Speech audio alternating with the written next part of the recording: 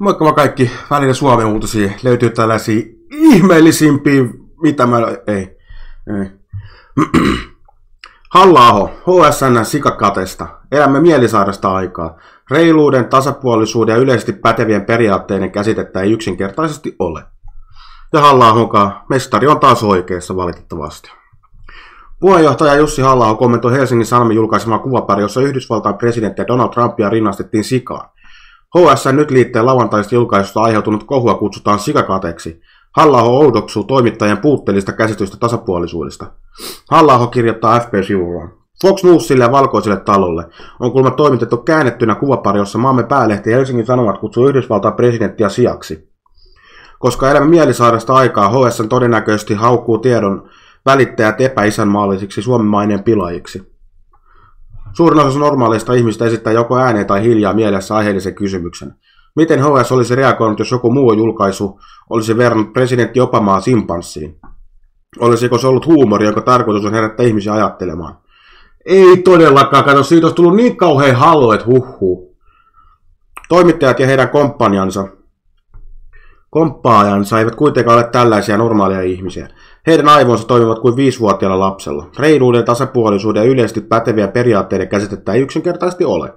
Periaatteet rakentuvat ad hoc pohjalla täysin tapauskohtaisesti. He pystyvät vilpittömästi pyöristy, pöyristymään, jos ihmisiä, joita he pitävät, verrataan eläimeen. Ja saman aikaan aivan yhtä vilpittömästi olemaan sitä mieltä, että tietenkin heidän inhoamansa ihmistä saa verrata eläimeen. He eivät näe tässä mitään outoa. Heidän aivostaan puuttuu se palikka, joka mahdollistaa outouden näkemisen. Tällaisiin ihmisiin törmää silloin tällöin siviilielämässäkin. Meidän aikamme erikoisuus on, että he ovat vallanneet median lähes kokonaan ja politi- politiikankin suurelta osin. Kulmakarvat koholla. Sikakate on nostanut kulmakarvaa muuallakin koko maan edustaja Arto Satonen ja Timo Heinonen, kuten ex-sisäministeri Päivi Räsänen ovat julkisti oudoksen ja Ilta-Sanomien pitkäaikainen ex-päätoimittaja Antti-Pekka Pietilä huomauttaa FP-sivulla, että HSL on nyt perustelujen paikka julkaisulle. Pietilä kiinnittää huomiota myös Euroopan ihmisoikeusistuimen ratkaisuihin. Asian eristetyllä on merkitystä, vaikka itse asian kertominen katsottaisikin hyväksyttäväksi. Tarkoituksellinen loukkaava muotoilu ei nauti Euroopan ihmisoikeussopimuksen sananvapausartikkalan suojaa. Toisin, toisen ihmisen nimitteleminen halventavaan sävyyn ei siis ole hyväksyttävä, Pietilä kirjoittaa. Lehti korostaa, lehti korostaa moraalisia arvoja. Lauantai HSN sikakuva on oudoksut monia myös siksi, että kyseisen päivän numero yritti poikkeuksellisesti vahvasti korostaa ihmisen kunnioittamista ja tasa-arvoa. Kokonaisuus olikin sitten melkoinen pannukakko.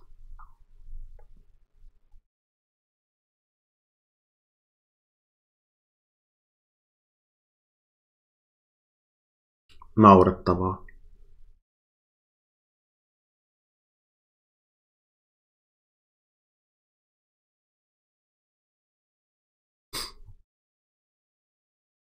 Ylen ja HSN pomot eivät nähneet asiassa ongelmaa. No, Suvakki, Yle ja HS. Onko siinä mitään uutta, että ne ei nähnyt siinä mitään ongelmaa? Saatana paskalafkoi molemmat. Nyt tässä ottaa rahaa. Suome, nyt tässä ottaa valtion kokonaan pois kummaltakin. Kattoko, että paljon suvakkia idiootit rahoittaa niiden paskan lässytystä. Suomen uutisten haastattama nyt liitteen esimies Tuomas Peltomäki ei pitänyt sikavertailua ongelmallisena. Tarkoitus oli lähinnä hauskuuttaa Peltomäki kommentoi. HSN päätoimittaja Kaius Niemi ohjaili kiukustuneita ihmisiä ajattelemaan, ettei kuvapa, kuvapari palsta edustaisi toimituksen linjaa. Se edustaa todellakin. Toi on niin kuin valhe, mitä toi lässyttää toi Kaius Niemi. On erikoinen ajatus, etteikö lehden julkaisen materiaali edustaisi lehden linjaa. Hyvässä muistissa on, kuinka pilapiirtäjä Kari Suomalainen sai potkut turvapaikanhakijoihin liittyvän pilakuvauksensa vuoksi.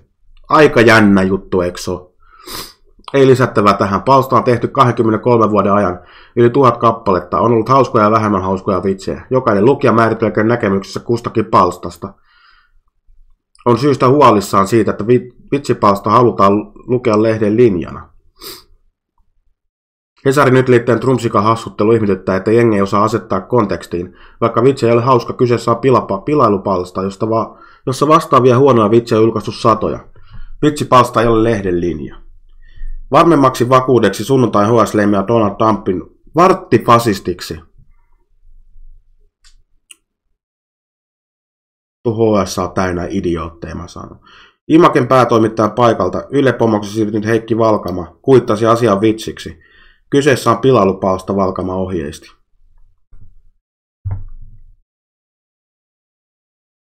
Käykää, käykää mielellä, piduttaa katsoa näitä kommentteja, mitä tänne on laitettu.